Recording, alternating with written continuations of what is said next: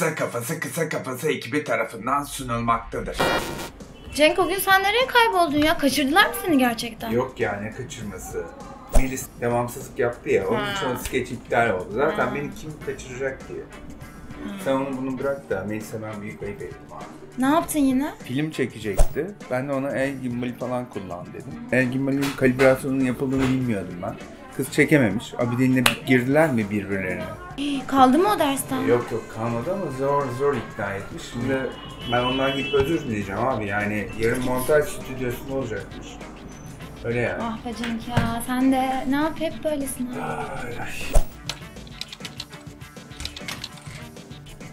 Aa, Hande burada mısın ya? Cenk lütfen gider misin? Aa, ya bak gerçekten üzgünüm tamam mı?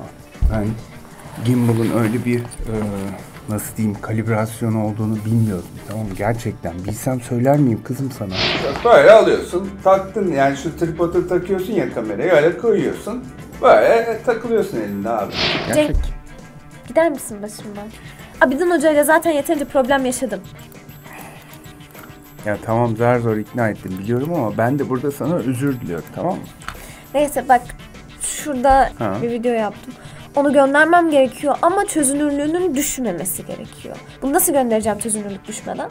Çok basit. Hocaya çözünürlüğü düşmeden aynı boyutta değil mi? Yani boyutu Evet, düşürerek ama çözün... Çok basit abi. Gir şimdi oradan export'a. Girdim. Aha. Export'ta bak. Şey e, şunu seçince olay bitiyor abi.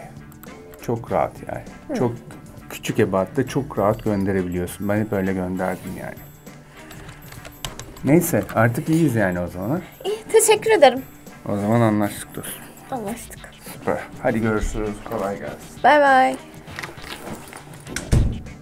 İnşallah bu sefer beni yanıltmazsın Cenk.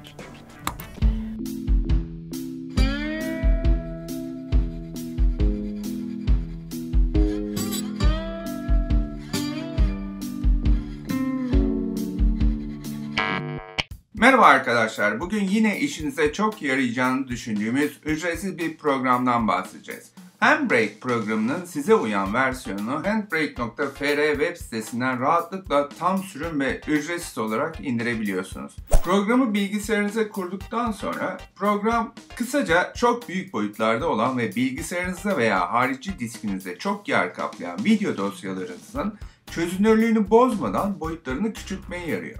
Örnek verecek olursak, burada geçen sene Nisan ayında Artvin Altınboğa Doğa Filmleri Festivali'nde yaptığımız kısa film atölyesinin görüntüleri var. Bunların içinde 4.29 GB'lık bir video dosyası var. Bu video dosyasını Handbrake programının içine alıp ki bunun için ister buradaki Open Source seçeneğini seçin veya dosyayı tutup mouse'unuzun sol tuşuna basıp seçerek Handbrake'in içine sürüklemeniz yeterli. Daha sonra buradaki yeşil renkli olan Start yazan ikona bastığınızda program bu video dosyasını MP4 dosyası haline dönüştürme işlemine başlıyor. Bu dönüştürme işlemi videonun uzunluğuna ve boyutuna göre farklılık gösteriyor. Ama işlem bittiğinde bu 4.29 GB yer kaplayan video 1.3 GB'lık bir MP4 video dosyasına dönüşmüş oluyor. Ve boyutları farklı olmasına rağmen bu iki videonun çözünürlükleri aynı.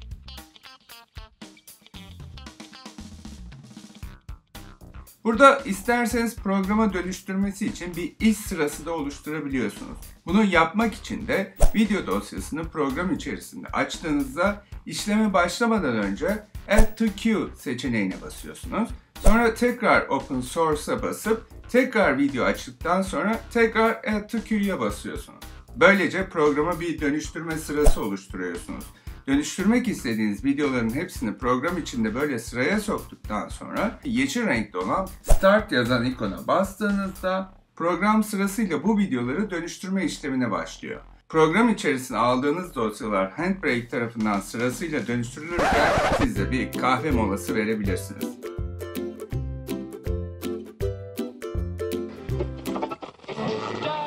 Bu programı rahatlıkla kullanabilmek için bilgisayarınızda programa özel bir Handbrake dosyası oluşturduğunuzda da program dönüştürdüğü dosyaları direkt olarak bu dosyanın içine koyuyor.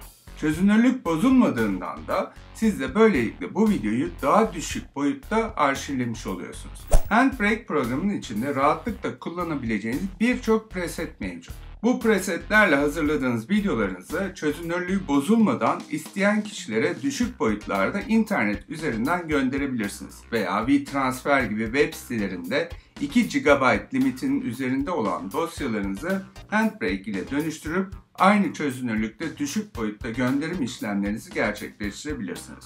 Veya hazırladığınız videoları sosyal medya hesaplarınıza yüklerken de videolarınızı çok daha rahat ve hızlı şekilde ve yüksek çözünürlükte yükleyebilirsiniz. Yani her zaman söylediğimiz gibi bu programla da yapabilecekleriniz hayal gücünüzle sınırlı. En yakın zamanda tekrar görüşmek üzere.